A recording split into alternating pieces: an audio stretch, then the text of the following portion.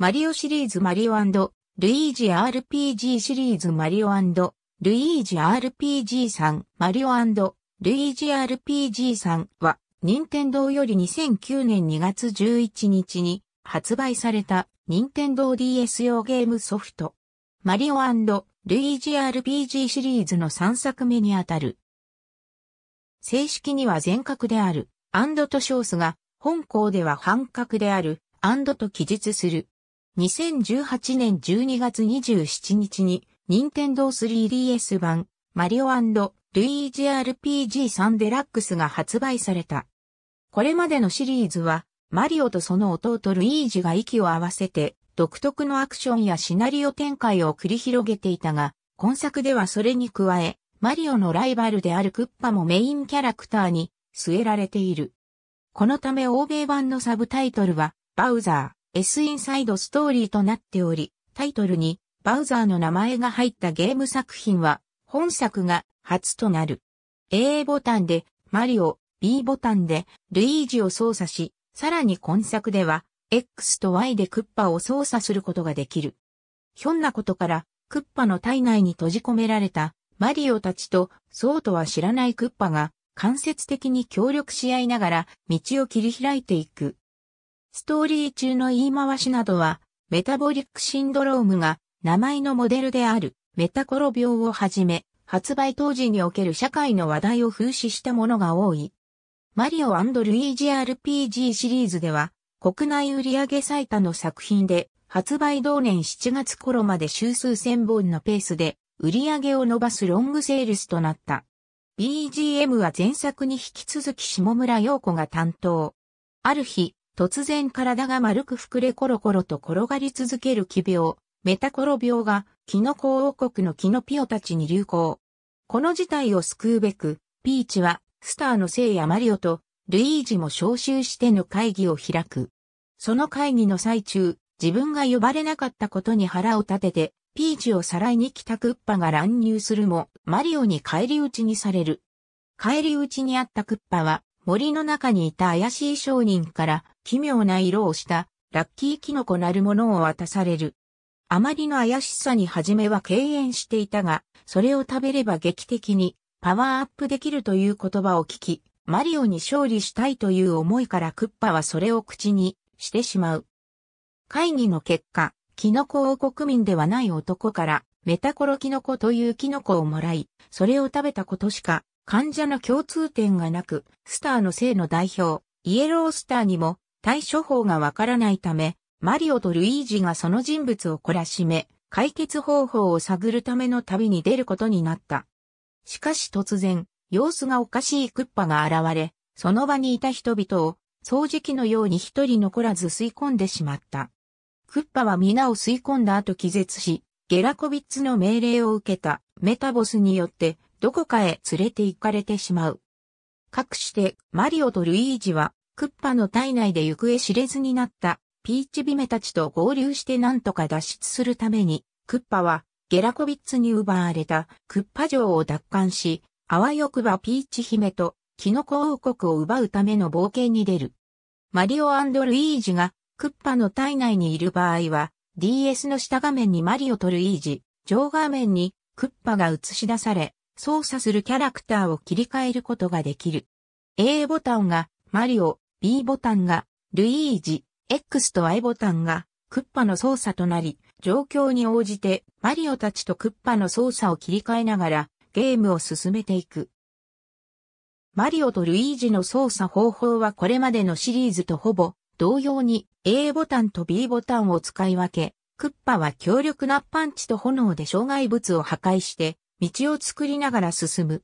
クッパの体内はいくつかのスペースで区画分けされており、体内マップで行きたい場所にマリオルイージのカーソルを合わせて A ボタンを押すとそのスペースを探索できる。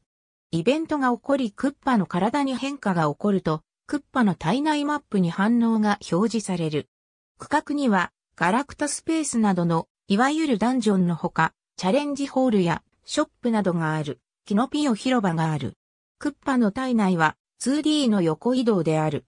中盤になると、クッパの体内から出ることができるようになり、クッパの体内と外の世界を行き来しながらゲームが進行していく。また、マリオとルイージがクッパの体内で行ったことが、クッパの行動に影響を与えることがある。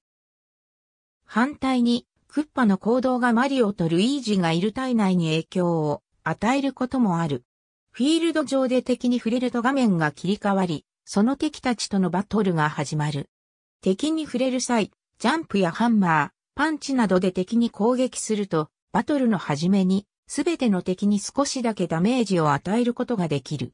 ただし、敵に背後から接触されるとそのキャラクターが転んだ状態でバトルが始まってしまう。バトルでは、これまでのシリーズ同様、パラメータのスピードの大きい順でコマンドブロックを選び行動を行う。すべての敵を倒すと勝利となり、経験値やコインなどを入手でき、経験値が一定量溜まったキャラクターはレベルアップする。しかし、マリオとルイージの HP がともに0になるか、クッパの HP が0になるとゲームオーバーとなる。なお、今作ではアイテム、リトライクロックを持っているとゲームオーバーになった時に使用することができ、使用するとそのバトルを HPSP が満タンの状態で初めからやり直すことができる。ただし、リトライクロックは手に入る数に限りがあるため、何度でもリトライができるわけではない。バトル中の操作も、フィールドと同様に、マリオとルイージは A ボタンと B ボタンで、クッパは X ボタンと Y ボタンを使用する。これまでのシリーズと同じく、攻撃するときや敵から攻撃される際にうまく、ボタン操作をすることで、与えるダメージを増やしたり、敵の攻撃を回避、反撃したりすることができる。また、スペシャルアタックを使用し、敵に大きなダメージを与えることもできる。マリオルイージのスペシャルアタックはすべてボタンのみで操作し、クッパのスペシャルアタックは、クッパをタッチペンで移動させて、甲羅を弾いたり、カメックの列をなぞって線でつなげるなど、すべてタッチペンを使って操作をする。スペシャルアタックの詳細は後日。マリオとルイージは道中で入手する様々なバッジを装備することができる。このバッジは2枚で1体となり、攻撃を成功させ、一定以上の評価を出すと、バッジメーターが溜まっていき、メーターが満タンになった状態でメーターをタッチすると、身につけていたバッジの組み合わせにより、二人の HP が回復する、次の攻撃で与えられるダメージが増える、などといった様々な効果を得ることができる。マリオのバッジが効果の種類、ルイージのバッジはメーターが溜まる条件を設定するものである。なお、ルイージのバッジのメーターが溜まる条件の難易度が上がれば上がるほど、攻撃が成功した時のバッジメーターの上昇量が増えていき、さらに状態以上の回復などの追加効果がつく場合もある。このゲームは基本的に DS は横持ちで操作するが、あるイベントでクッパが蘇生された反動で巨大化し、そのクッパが巨大な敵と戦う場面では DS を縦に持ち替え、タッチペンとマイクで操作をする。このバトルでは基本的にパンチや火炎放射で攻撃を行ったり、巨大な敵から出てくる敵をタッチペンで角度を指定して炎を吐き攻撃の迎撃などをする。他にも戦闘ごとに異なった操作が用意されている。スタートボタンを押すと、スターメニューというメニュー画面が開く。そこでは、マリオルイージやクッパの健康状態、持ち物を確認できるほか、キノコやシロップ、チキンなどを使って体力の回復や装備品の変更などが可能。また、覚えているスペシャルアタックの詳細やお手本を見たり、実際に練習をすることもできる。ゲームを進めていくと、バトル中に使用できるスペシャルアタックを習得することができる。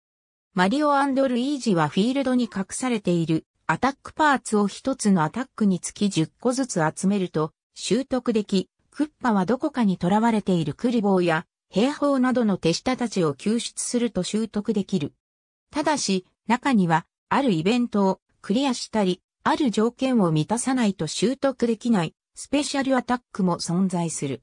スペシャルアタックを使用するには、アタックごとに決められた値の SP が必要となる。基本的に威力の高いスペシャルアタックほど必要な SP が多くなる。マリオルイージのスペシャルアタックマリオルイージのスペシャルアタックはすべて A ボタンと B ボタンでアタックによっては十字ボタンも同時に使って操作する。前作同様、マリオとルイージで使える技に違いはない。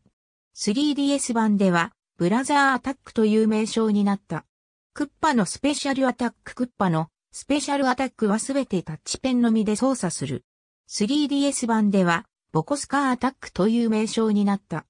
モンスターには攻撃の癖というものが必ずあり、それをよく見ることで、マリオ側、ルイージ側のどちらに攻撃してくるか、あるいは攻撃が頭上へのフェイントであるかどうかなどがわかる。また、マリオたちのスペシャルアタックがそうであるように、モンスター側も1ターンに何度も攻撃してくることがある。主にクッパの冒険の舞台となるが、ゲーム中盤からはマリオルイージで探索することもできる。ただし、中にはクッパでしか進めない場所もある。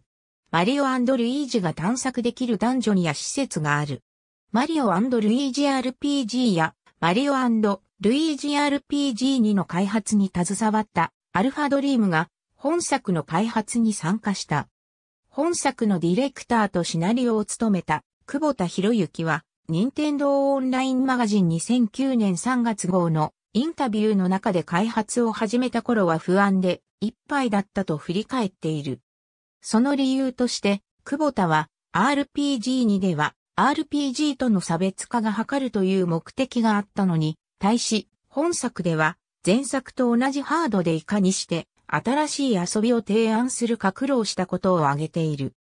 前作 RPG2 では4ボタンを活かすために X ボタンと Y ボタンを技の強化に割り振った結果、操作体系が複雑になってしまったという反省から、本作の開発ではマリオの要であるアクションを重視すると形で原点回帰が図られると同時に前作以上に遊びやすいものにして間口を広げるという方針が取られ、特にユーザーインターフェースの改善に力が注がれた。本作の難易度調整には特に最新の注意が払われ、久保田はいろいろな人にプレイしてもらったアンケートで分かった不満にすべて対応していったので、一番いいバランスになったのかなと思います。と振り返っている。腕試しとして強敵と戦うことができるバトルコロシアムはバトルデザイン担当の岩崎淳が自身のストレスを解消するために作ったものであり、岩崎自身もストーリー上を必ずしも攻略する必要のないボスと戦う面白さを残したかったと振り返っている。本作の開発にあたり、クッパがマリオのライバルとしての立場を保ったままゲームに落とし込むかが任天堂とアルファドリームとの間で協議され、最初にクッパを戦車として扱うというアイデアが出た。最終的には、クッパのキャラクター性を活かすため、クッパがマリオたちを体内に吸い込んでしまうという物語に落ち着いた。久保田はこのアイデアについて、外でクッパに起こったことで体内の様子が変わったり、逆にマリオたちの行動がクッパに影響を与えたりという中と外のやりとりがあることで、ゲームとしても面白くなるだろうと感じたんです。と前日のインタビューの中で述べている。レベルデザインには最新の注意が払われ、あからさまに生々しい骨や血管などは描かれず、マリオルイージらしいポップな雰囲気に仕上げられた。また、攻撃方法が面白そうな敵キャラクターの案があっても、クッパの体内というテーマにそぐわない場合は却下された。任天堂のプロデューサーの大谷明は前述のインタビューの中で、クッパが仲間になって協力する展開を回避するのに、苦労したと述べている。また、本作は健康をテーマとしつつも、キャラクターが病気で苦しんでいるというマイナスのイメージは出さないという方針が取られた。本作におけるクッパは、良い意味での二枚目半を意識して描かれ、過去作におけるルイージのようないじられ、キャラにならないよう最新の注意が払われた。また、本作ではクッパが会話する場面を大幅に増やしたことについて久保田はインタビューの中で人間味というと変ですけど、ただ単に怖いだけではなくて、感情のあるキャラクターとして深みが出せたかなと思います。と振り返っている。クッパが巨大化するというアイデアは企画書の段階から存在していたが、この時点では具体的な方法までは考えられていなかった。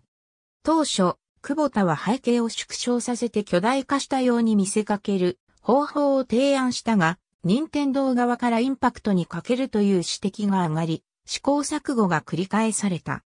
最終的には DS を縦に持つという形で、クッパの巨大化が実現し、元々の大きさがわかるものを小さくした状態で表示するといった複数の方法で巨大化の表現を強調した。